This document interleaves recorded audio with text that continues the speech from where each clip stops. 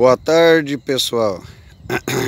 Então, estou em Vila Nova Paraíso, no estado de Roraima. Saí hoje de manhã de Roroinópolis, né? Hoje não vou pedalar muito também. Não estou com muita pressa, pressa para aqui, né? É. Quem viaja de bicicleta não pode ter pressa, né? É, então, hoje fez 30, 40, 50, outro dia faz 70.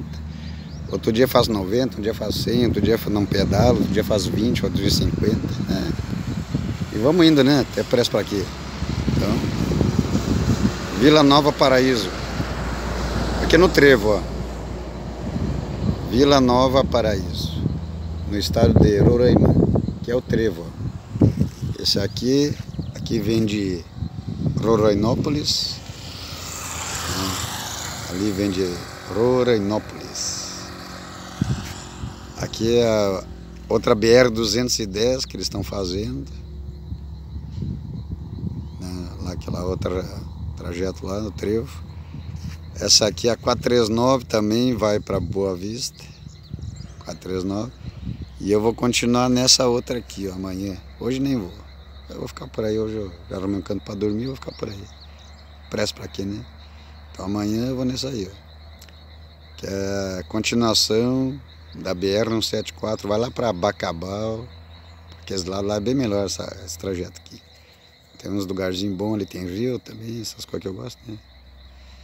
Tem uns riozinhos, então, aí pra frente aí, Bacabal e depois assim vai, até Boa Vista também, né? Aqui é o trevo. Às vezes a pessoa para no trevo e fica indeciso, quem viaja de bicicleta, né? É. Quem viaja de bicicleta fica indeciso. Para que lado vai? Vai para lá, vai para cá, vai para cá ou vai para lá, né? É que nem uma decisão na vida, né? São quatro lugares, quatro sentidos diferentes. Então, como eu já vim de Roranápolis, não vou voltar, né? Então só tem três opções, né? São três opções, direita, esquerda e siga em frente. Então vou para a esquerda. É, vou para a esquerda, sentido Bacabal, para ir até Boa Vista. É, pretendo até a divisa com Venezuela. Se der, vou fazer o Monte Roraima, mas tem um conhecido meu que está lá no Monte Roraima 15 dias, esperando para subir o Monte Roraima e nada. Chuva, chuva, e, e é só com guia, né? Lá o Monte Roraima é só com guia. Ele ficou 15 dias esperando, desistiu. Ontem ele me, ontem saiu de lá e disse, não, não Esperar mais não dá que já está sem dinheiro, vou ficar sem comer. 15 dias esperando, é, também não dá, né? Eu vou, talvez eu chego lá, mas vou esperar dois, três dias. Que eu também não tenho dinheiro, essas coisas, então... E lá mangué é tudo pobre, né? Fica xarope, né? Ah, um feijão, arroz o cara consegue, né? Comida o cara também não vai passar fome, mangué. Um arroz um feijão numa casa, só eles dão, né? Mas...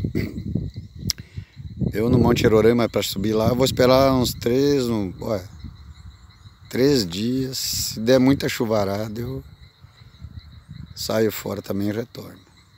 Mas tá bom, né? Já, já é Venezuela praticamente, né? Monte Roraima já é lá na Venezuela. A viagem é Brasil, né? Então, isso aí então, pessoal, vou dar uma voltinha aqui. É um povoado, né? Entendeu? É isso aí que tem, ó. Tá vendo as casas aí? Aquela ali, aquela lá. O povoado é, fica ao redor do trevo. Né? Praticamente ao redor do trevo. Tu sai. Ah, não dá nem 200 metros. 200 metros para lá, praticamente não tem mais nada, só a rodovia. Para lá também, 200 metros e assim vai. Né? 200 metros, 200 metros. É cá.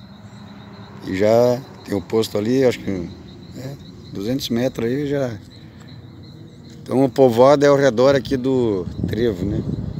O povoado que é ao redor do trevo. Só então, deu uma chuva boa aí de manhã, choveu umas duas horas aqui, essa região agora, quando chove, chove mesmo, né? Dá uma chuvarada boa e depois para, abriu o sol. Então, ah, vou dar uma, dar uma circulada no povoado aí, depois vou já arrumei um canto para dormir. Tá bom então? Paz, felicidades a todos aí, vamos que vamos.